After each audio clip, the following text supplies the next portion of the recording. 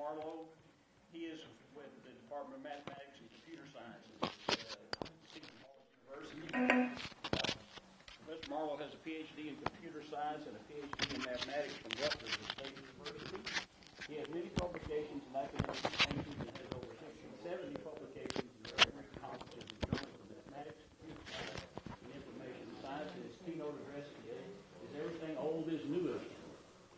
Okay, this is, I think, my fourth plenary address here, and then the first three I more or less gave fairly serious sermons on the virtues of collaboration. And although I want to take what I'm presenting here very seriously, I don't want to give a sermon. I'm treating this more as a meditation. There is a bit of humor in it, and for those who would like a little more humor, please look at the page titles. So we start out with a problem, and the typical problem solving method is to model the problem, propose a solution, evaluate it against the problem, and if it works, it's a solution. And if it doesn't work, we go back, we try again. Well, we finished it, right? We got the solution. Okay, I'm done. Let's. Yeah, I can only wish. Right? So, maybe not. So we have some questions. When should we go back and look again? When should we really go back and look again? And why don't we do it all the time? Okay, and another question would be maybe we can make use of our current solution, or maybe it's an obstacle. Maybe we resolve the problem because something has changed and we find we're right back where we started. Maybe we're even back before we started. And I propose two examples, which I'll let you read.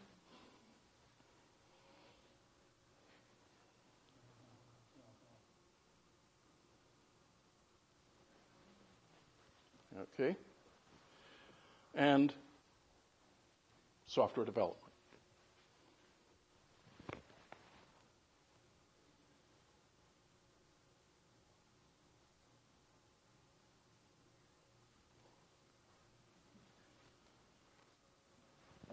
Okay, so, oh, wow.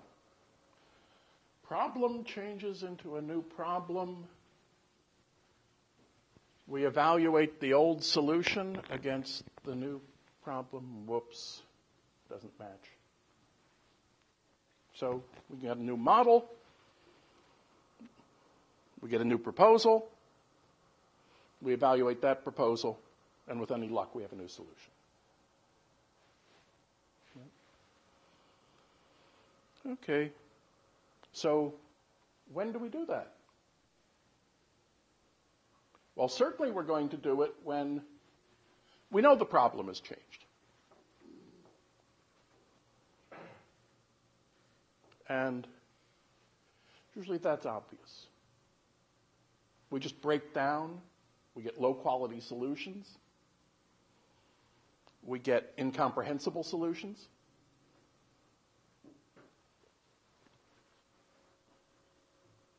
We start using technology that no longer exists.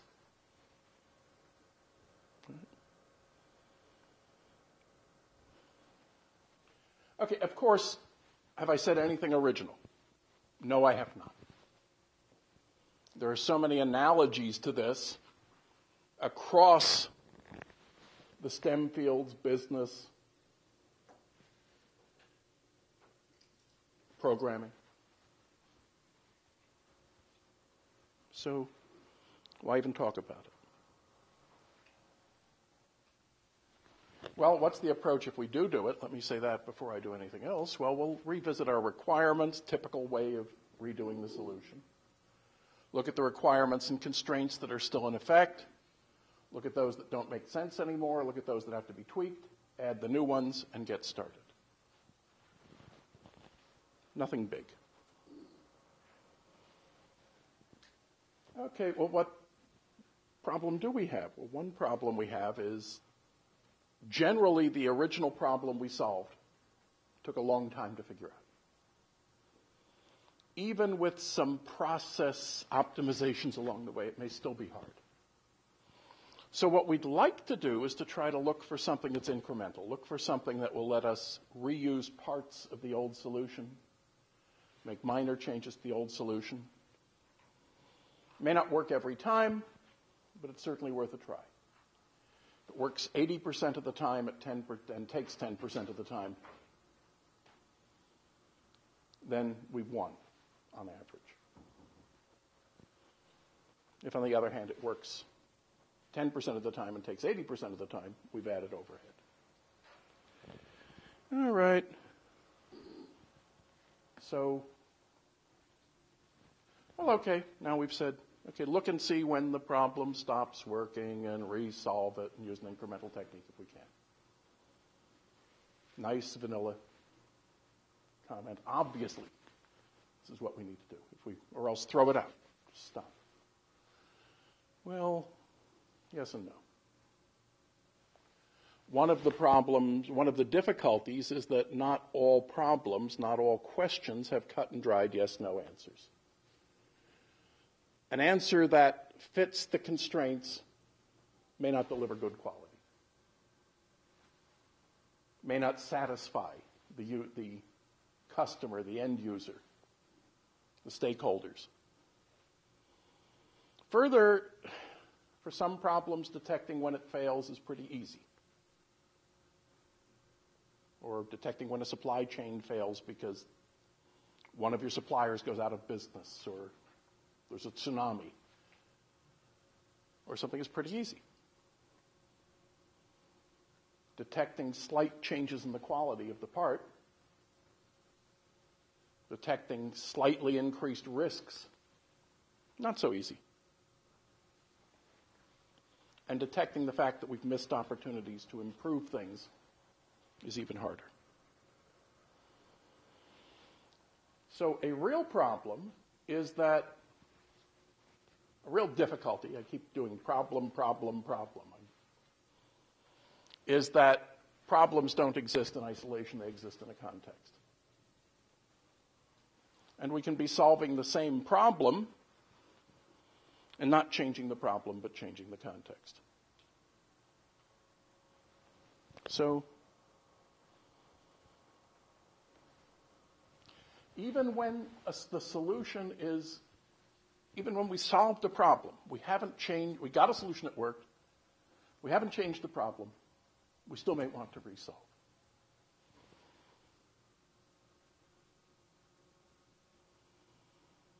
Okay. Why? Why?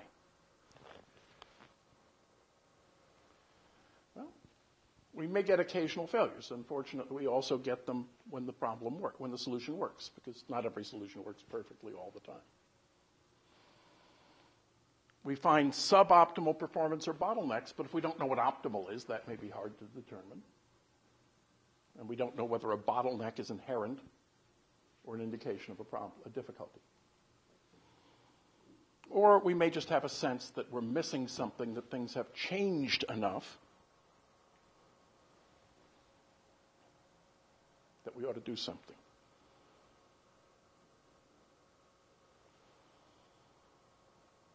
So, what we need to do is periodically revisit the problem the question is, and look for a mismatch between real life and the problem statement. Has the real world changed enough that we're no longer stating the problem in reasonable terms?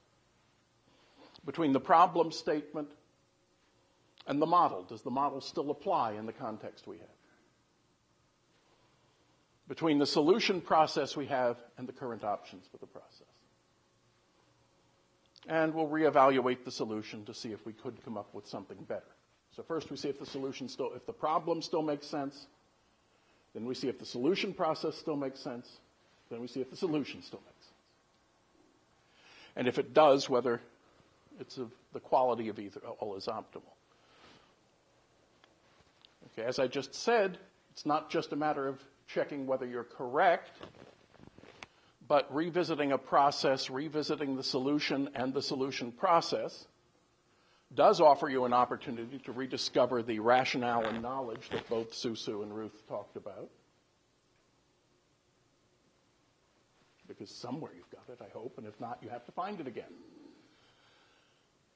Ensuring that every one of your non functional requirements and constraints still makes sense.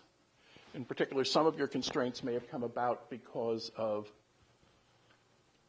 the forms and types of support institute, uh, infrastructure you had available versus those you have now. May have reflected the fact that you didn't have some numerical, some mathematical algorithms or procedures that you have now. We may have said, well, you have to solve it this way because we don't know anything better. Now, maybe we do. Or may have respected the state of user or developer knowledge, knowledge based skills. 20 years ago, you could not count, necessarily 30 years ago, on a user being agile with the mouse, with dealing with tabs and uh, windows on the screen and so forth. Now I think three year olds can teach me some things. Right? So we would have had a solution that said use a menu based system. because that's what's comfortable for people. Because that's what we can support easily because that's what people know how to use. Nowadays, they're very much deprecated in most contexts, especially big menus. So, so another problem is we've decided to use these incremental techniques, and maybe they keep working. But one of the problems with incremental techniques and somebody else was talking about this at the conference, but unfortunately I forget whom, is that they tend to converge to local solutions. In fact, it was one of the things that uh, one of the keynote speakers mentioned. And without getting into the full generality of problems, we need to make jumps away from where we are now and then and try to come back to a solution and see if it leads us to somewhere different and better.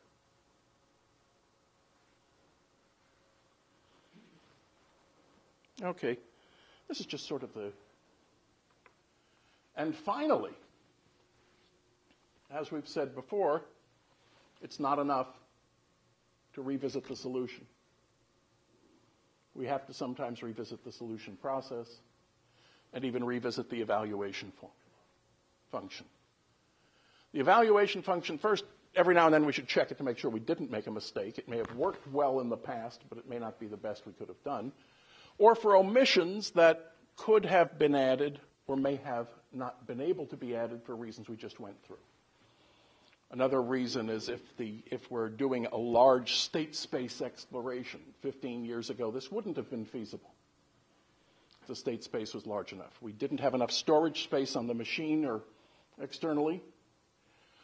The computers didn't work fast enough. And maybe the algorithms weren't good enough. So we need to incorporate new knowledge, context, techniques, algorithms, and infrastructure into our approach. Okay, and this is much harder when we're trying to solve for a process So find the best way to manufacture something. And it's even harder when we start out with saying, here's a process that's a problem and we need to solve for another process. Using a process. And of course, it's also hard when we have to deal with issues that are strongly affected by institutional learning and culture and by collaboration, cross culture collaboration. Okay, now I get into. Okay, and again, key point is not only do we possibly change the solution, we may get other benefits. Broader applicability, faster solution algorithm procedures, broader uh, new uses for the solution, new uses for the process, and possibly alternative strategies. Okay, but again, life isn't that simple. Life is never that simple. I keep making things harder. Why? Because they are harder. Because now what we've done is we said, well, okay, let's go back and solve the problem. Now let's solve the problem again. Now let's solve the problem again. Now let's solve. Oh, wait, let's examine our objective function. Oh, wait, let's examine our solution procedure. Now solve the problem again. Solve the. Oh, wait, let's. Ob-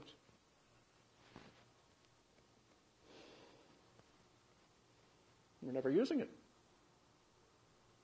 You can't continually be examining your, your solution process. You have to sometimes do work, billable hours.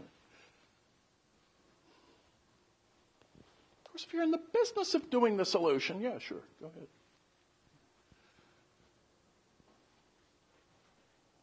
So, what we need is to try to estimate when.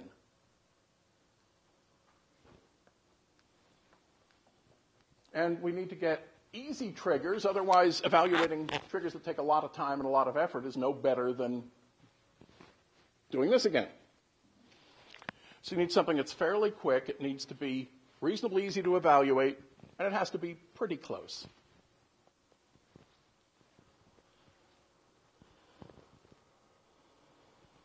Okay, where, what are sources of change? And I'll just let you look at that. They're sort of obvious, and I'm sure we could keep adding half a dozen more.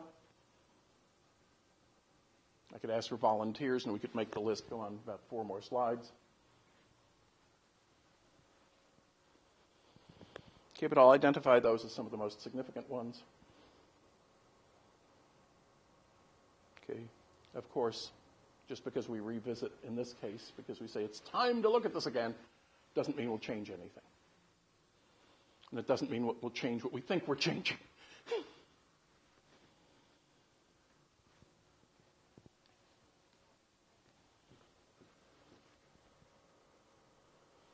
so there's my overview. When am I going to look for change? There's going to be always a time trigger.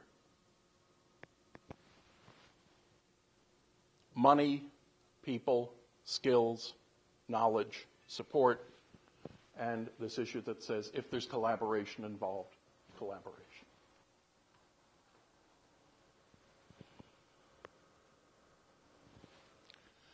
So you set some time scale, and these are just very, very bad guesses, but I have to make something. And if enough time has passed and you're still using the product, still using the solution method on new case after case, it's probably worthwhile just to see if things have changed. The context is still the same, if the problem is still the same, don't bother solving it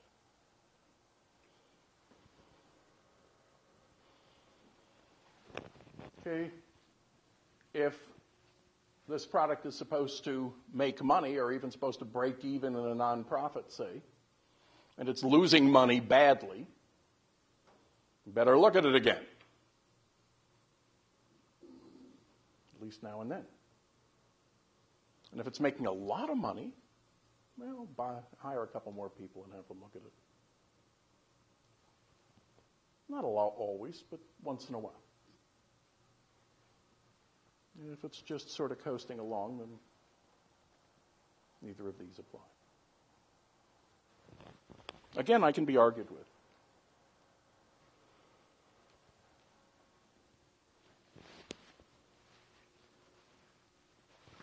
Okay. Changes in your customer or user community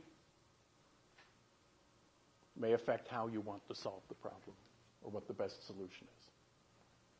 Changes in your staffing may affect what you're allowed to do and may let you do more and get a better solution. And that could, could be understood in general terms, including consultants you have available to you.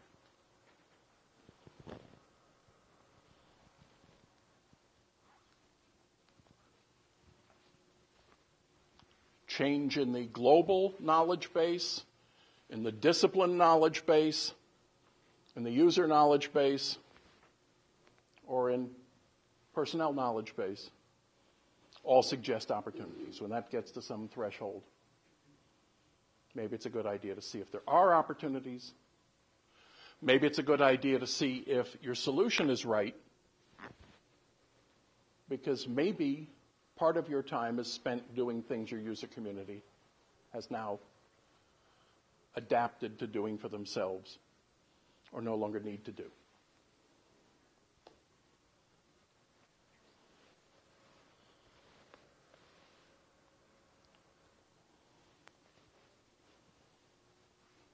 Okay. Pretty well said that already.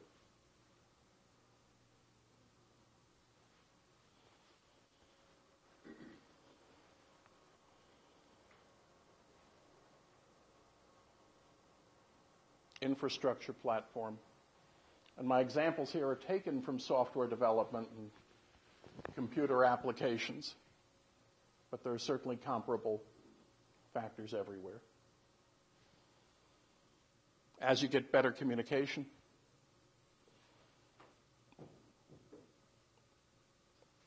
as you get computers that are faster, more, more highly optimizable, more storage, whether here or remotely. You can do more. Okay, what about collaboration? Well, if you have significant changes in your set of collaborators, you might want to relook at your problem.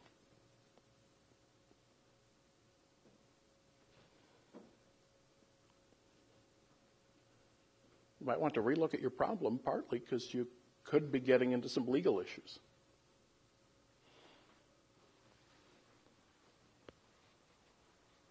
It's unlikely if you drew the contract up right, but that doesn't mean you did.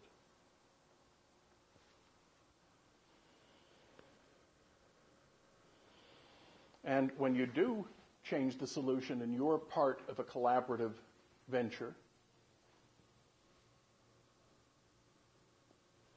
what do you need to do? Well, you need certainly to inform the partners when your piece no longer works until you get it working again.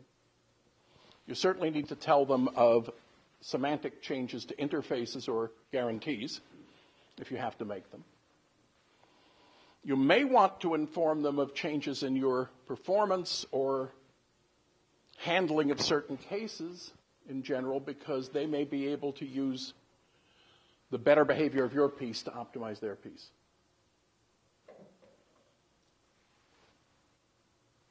Or to solve their problem differently. But you can probably keep most of the internals hidden. So these are, in some sense, uh, from the software point of view, not the legal point of view, contractual. This is optional, but you do it when you think it will be to your advantage. Or maybe when you want just simply to keep trust going.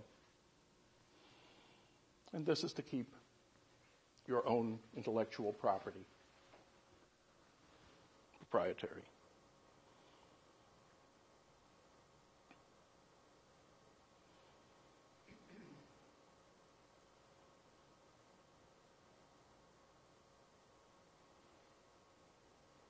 Okay, pretty obvious.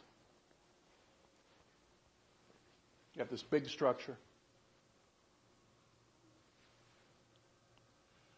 You examine hierarchically. You can either do it top down, bottom up, or starting with the most sensitive pieces. In general, you may want to subject the pieces that are sensitive to variation or to risk more frequently.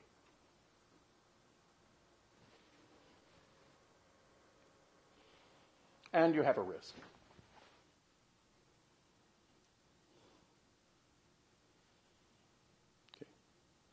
You don't want to get back to a situation that's the same overhead problem where you keep resolving and getting the same answer, or thrash between a pair of answers.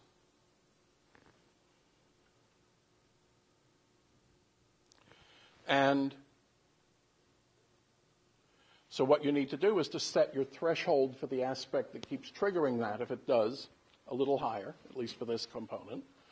Unless, as I said in the last slide, you know the component is very fragile, subject to security risks, subject to changes in call patterns, subject to evolution, in which case you may want to keep doing it anyway.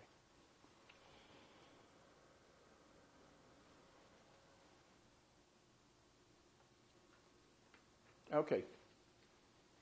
One of the interesting things, I think, is that context change doesn't occur in isolation.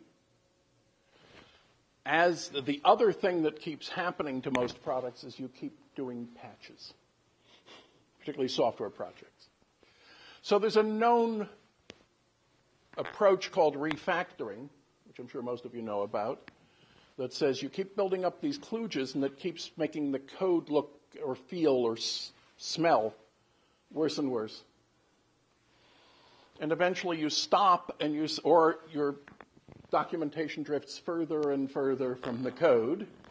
And at some point you stop and you say, wait a minute, let's go back and redo this, not necessarily from scratch, but by making a set of local transformations of your solution that improve little pieces.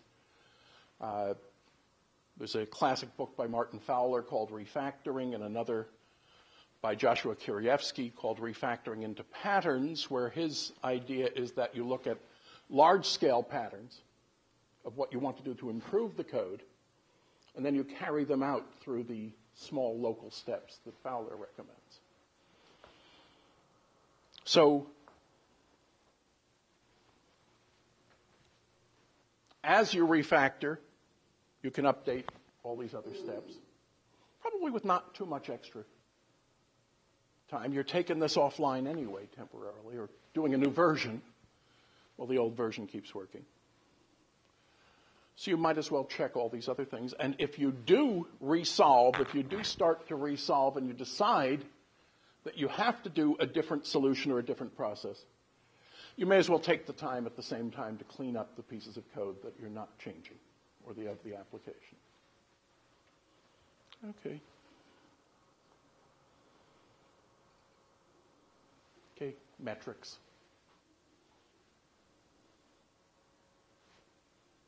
Metrics. The usual problem.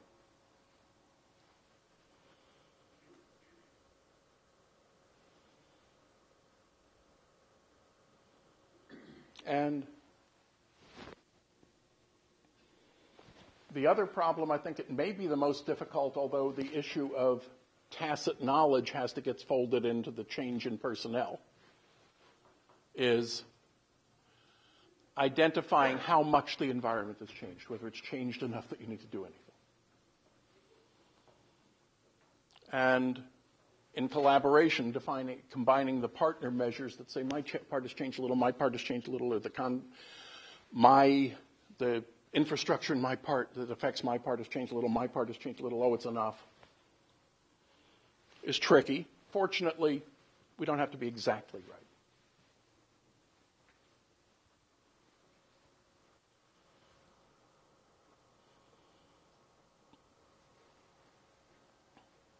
So, how do you set the thresholds? Cost benefit analysis. I don't know.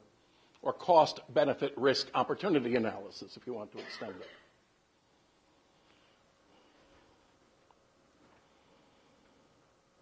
So, finally, let me say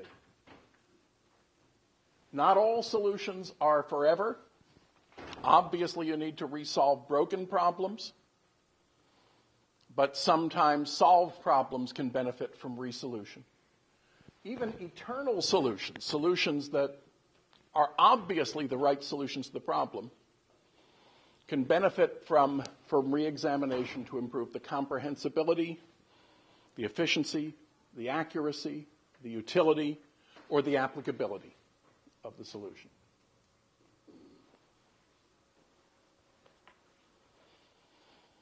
Reexamination can often use the old solutions, but reexamining the process, the evaluation function, and the metrics often help. They may not change as often as the solution does but they're particularly susceptible to infrastructure and knowledge changes. And it's important to understand cost benefit trade offs. Okay, I'd like to thank a bunch of people who helped me. And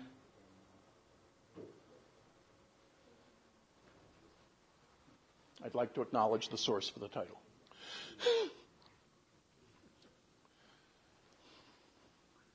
Thank you.